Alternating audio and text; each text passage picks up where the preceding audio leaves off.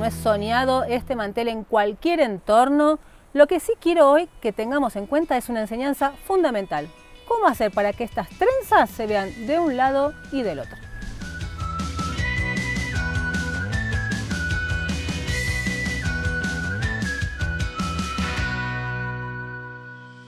¿De qué se trata esto de la reversibilidad? Vean acá. Tengo este lado de mi mantel, vamos a decir, o de mi camino, en el que tengo una, dos, tres, cuatro. Cuatro trenzas, ¿sí? O cuatro ochos. Estos cuatro ochos están separados por tres espacios en el medio de cada uno, de los que separa cada uno. Entonces, ¿qué quiere decir esto? Que si yo lo doy vuelta, ¿Se acuerdan? Eran cuatro trenzas en tres espacios. Bueno, acá tenemos esos espacios convertidos en estas trenzas u ochos y los cuatro en realidad son los motivos que no se ve el diseño.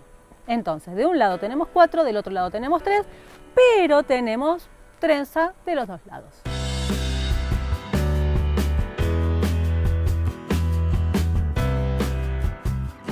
Bien, vamos a hacer como siempre una muestra más pequeña y les quiero contar las generalidades como para tener primero una aproximación y después vamos a ir a los puntos bien detallados.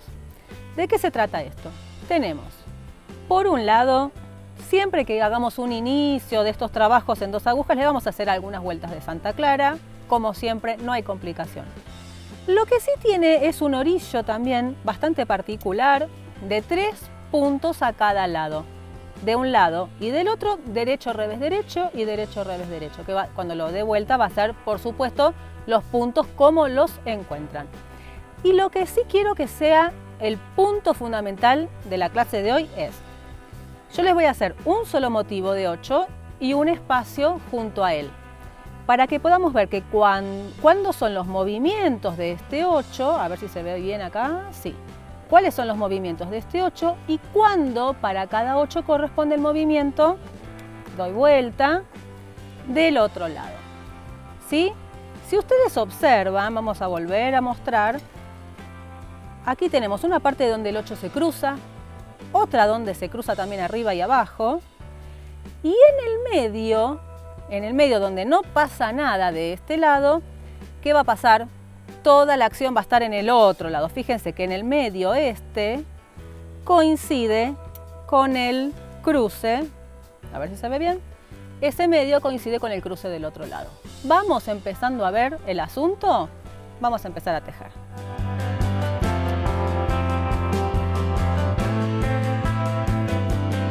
Vamos entonces con lo que les dije, un orillo que era derecho, revés, derecho, o en este caso que estoy del lado de atrás, es revés, derecho, revés.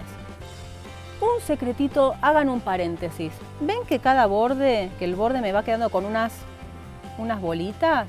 Bien, quiere decir que el primer punto no lo tejo y lo tomo al revés de cómo lo encuentro. Este es un paréntesis, es decir, lo encuentro al revés, lo tomo al derecho y no lo tejo y sigo con el derecho y el revés terminado mi orillo, son tres de un lado y tres del otro. Acuérdense siempre el primero no lo voy a tejer. ¿Qué me toca ahora? La parte que yo le digo tranquila de este 8, en donde no pasa nada, porque tengo simplemente que tejer los cuatro puntos tal como se presentan. Y otro punto fundamental, estas trenzas o estos ochos no tienen separación de punto relieve. Vieron que siempre que hacemos trenzas se separan por un bajo relieve. En este caso el bajo relieve ya es mi 8 del otro lado. Entonces, hice un 8 de 4 puntos. Bien, levanto y voy a hacer el otro 8 que está mirando hacia el lado contrario, de 4 puntos también. ¿Sí? ¿Qué me queda? El orillo. Dijimos revés, decimos derecho y revés. ¿Sí? Les muestro acá entonces cómo vamos por ahora y nos toca ahora un paso más.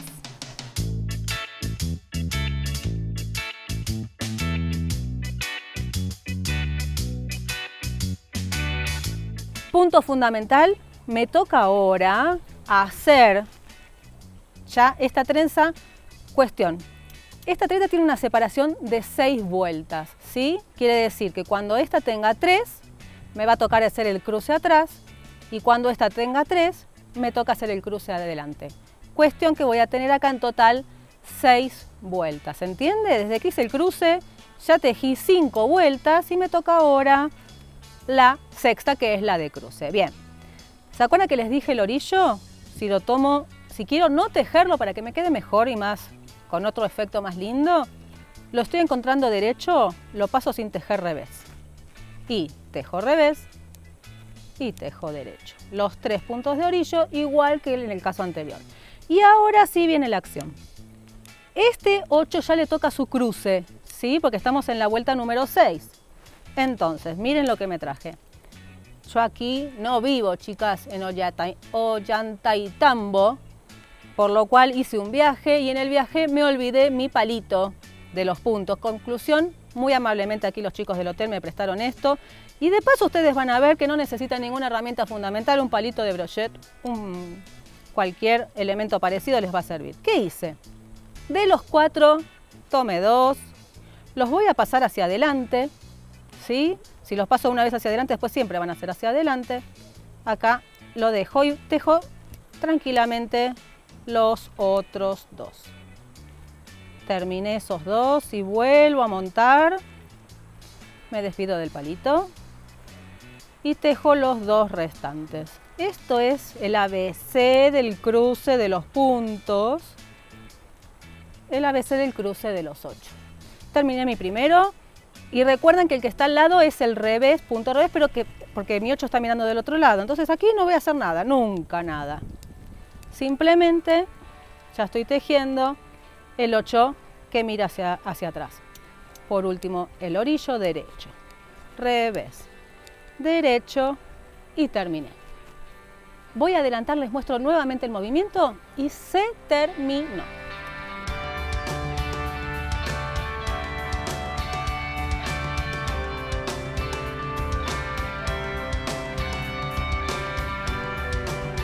Bien, adelanté las dos vueltitas que me faltaban para, en este caso, ya tener las seis del otro 8, el que les mostré antes, es este que me quedó aquí abajo, ¿sí? Ya estoy otra vez del otro lado y volvemos a repetir el esquema. Este punto lo pasamos sin tejer, tejemos el otro, tejemos el tercero, vuelta a tomar con mi palito los dos puntos, lo dejamos ahí esperando, no se preocupe si se les mueve, esto no cambia nada. Con prolijidad lo volvemos a tomar, lo pasamos a mi aguja izquierda y vuelvo a tejer los que me faltan. Cuatro del otro ocho. ¿Y les parece vamos viendo el terminado los detalles finales?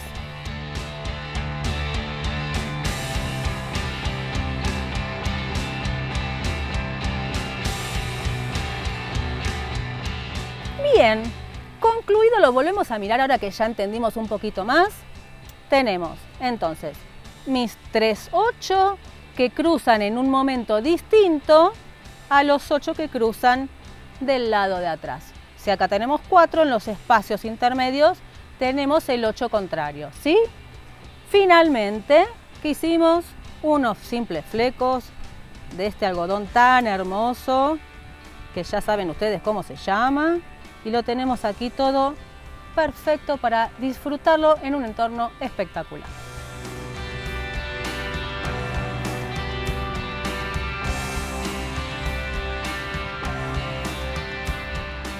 Habiendo entonces entendido, habiendo disfrutado, vamos a tener un camino tan hermoso como este, lo vamos a colocar en un lugar tan armónico como el que lo hemos elegido para el día de hoy ¿Y qué le van a decir? Pero qué hermoso eso que está ahí sobre la mesa.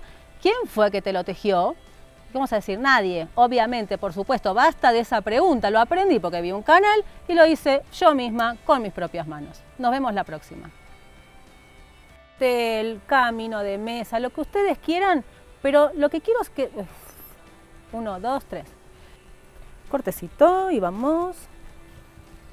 Tengo que hay que sacar una foto de todos los asistentes, ¿eh? Sí, hoy Por favor, que alguien me saque una foto con todos los asistentes. Vamos.